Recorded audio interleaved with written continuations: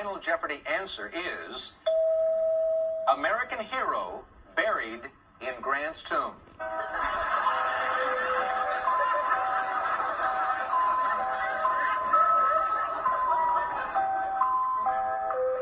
All right, contestants, time's up. Charlie, we're going to begin with you. Let's take a look at what you put down.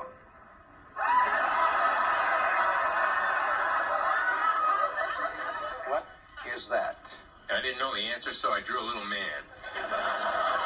Is it this guy? No, I'm afraid it's not. Let's go to Rose. Her response to American hero buried in Grant's tomb was, Who is Cary Grant?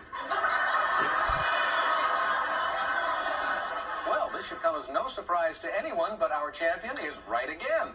Right. How much did you wait? Well, you didn't wager anything. Played it very close to the vest, Rose.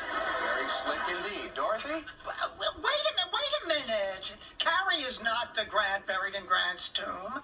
Ulysses S. is. Ulysses S. was a Grant, and he may have wound up in a tomb, but he is not the correct response. Sorry.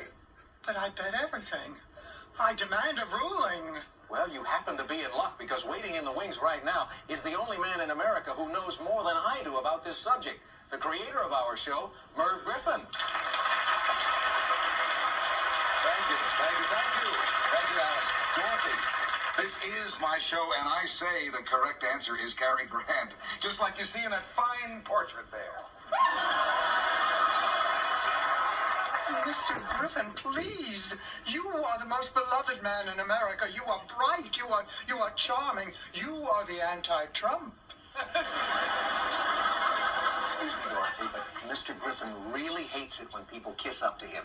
Isn't that right, Your Excellency? Absolutely right. Just for that, no parting gifts. All right.